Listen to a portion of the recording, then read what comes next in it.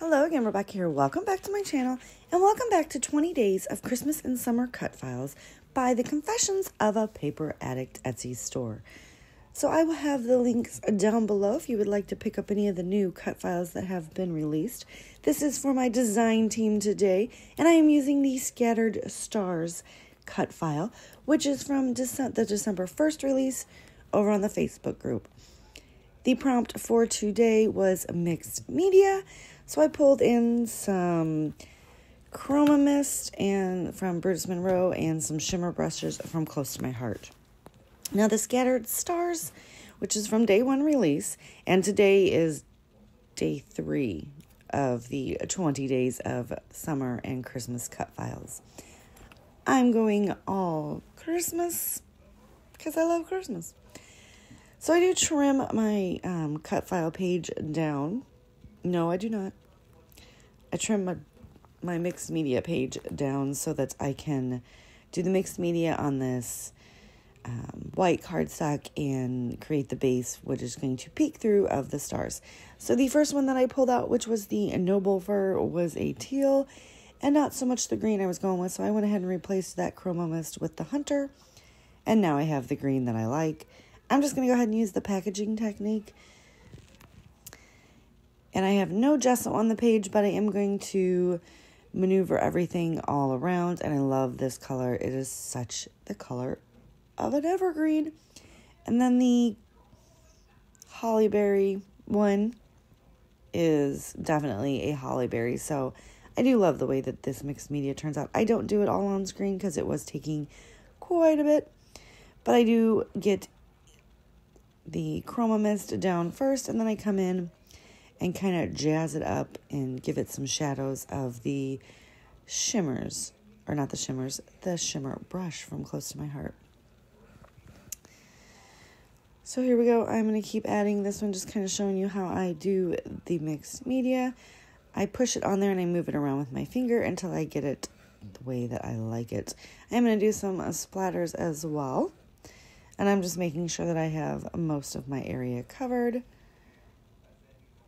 because I'm going to come in with the red as well. And it's going to be a red and green explosion of mixed media. But I do the rest of it off screen. I do apologize, but you know, got to cut time into the video. So here it all is. It is warped, so I just roll it on my paper. And you will see the darker areas are the areas where I use the shimmer brush. Looks like a hot mess, but when you put this beautiful cut file back on top of it, it does not. And it looks so pretty. So we're just going to get that adhered down. And then I'm going to come in and I had just a little bit too much. I get a little too excited with the glue right there. But I'm going to come in with my liquid glue and go ahead and make sure to... So I was having a problem with my... That is the Elmer's glue that I'm trying because the white glue, excuse me, that I bought just does not work for cut files. It is very liquidy, very wet, and very slow drying. Holds like a champ, you guys. But I need fast drying glue. So I'm hoping this one will work just a little bit better. I do get that stuck down. I'm going to take this hollyberry paper. I am going to cut my photos down. You see that I looked at the back of it and I had went through and printed out all the pictures from years past for my new project, which is my December through the years album. And I had wrote the years on all the back of everything because I'm not scrapping them in order. I'm just kind of pulling what goes with the prompt or the you know the layout that I am um, creating, and I wanted to make sure that I had a put 2007 in my uh, embellishment sheet. See, most of the time, you guys, I don't date my photos. I know that's weird. I don't date my layouts because they all go in an album that is dated, and it is one for each year. So I don't have to date an album, like a layout, because the album, like, it's obviously from that year. Um, but since this is a through the years, yeah. All right, so I went ahead and matted it on the ever on the holly tree on hollyberry paper. And then I went ahead and I was gonna mat it on white, but then I was like, um, your layout's in white, da da da. So I only did the one and I moved on with my life. I do take some of fun foam and I am gonna go ahead and pop that all down just to elevate my photos just a smidge. And yeah, those are some like straight wonky cuts, but I made it work. I get everything on there. A little bit too big, but I can, you know, I, I save all those little pieces and use them up like this. So see, there you go. Everything gets used eventually. Um, I did pick up another pack of fun foam. I asked my husband when he went to Walmart um, to get some Thanksgiving stuff. I was like, "Can you give me some fun foam?" And he was like, "What is fun foam?" I'm like, "How do you not know what fun foam is?" Fun foam is anyway. so anyway, he did buy me another pack because I am rolling through this, but I did just get a big roll from uh, Spiegel Mom Scraps as well in my latest order. So here is that liquid glue that I was saying is very liquidy and does not dry fast. But it's okay because I use it like any, you know, I just really like the bottle. But I've already used half of it. So I, I mean, I don't know if it's because it comes out in like so much or I've just used it that much. I'm not sure. I do still have some art glitter glue left and I am holding on to that for the rest of the cut files to try to get through the rest of these 20 days. I felt like this layout needed more. Um, you know, more is more has been my title these days anyway. So I go ahead and trim the right and top sides off, and I'm going to go ahead and stick this red and white striped paper, which is a close to my heart paper, just to border the top and side because I feel like it kind of finishes it off. Not so much kinda as it does. But there was just so much white empty space up there. I couldn't do it.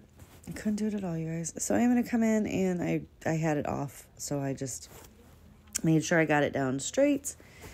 And then I'm going to wonkily gut the paper, but I left it as a whole at the beginning so I can make sure I could get it a 12 by 12, the cheater method, so that I didn't have to bring out a ruler.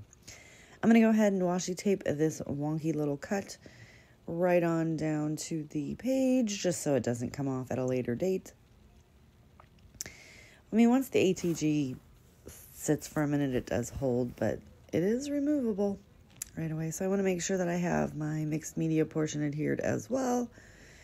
And we just go ahead and do that. Flip it over, and now we're going to start the embellishment. I take this chipboard tag, I'm going to pop that up at the top in this cute little um, Christmas tree truck carrying a Christmas tree. I am going to use this little chipboard that says fa la la la la. Now you remember, I don't even know if you remember, I don't even know if I showed it. I had pulled out all of my Christmas collections and all my Christmas stuff, and that's my goal for this year. Use up all, well, use up as much as I can, because obviously I can't use it all up, of my Christmas stuff so that I can buy new. And I've had collections that I've used through the past, and I've only had like the sticker sheet left, or um, a chipboard, or just the like the random embellishments that are left that are not in packs. They're just like the sheets. So I had a whole um, 13 by 13 zip bag full of those. And that's what I pull out. I pull first, you guys. I pull that out, pull what I can use off of that for the layouts, and then I go to the different things that I have. Excuse me. Really excited to say that I have used the majority of that up.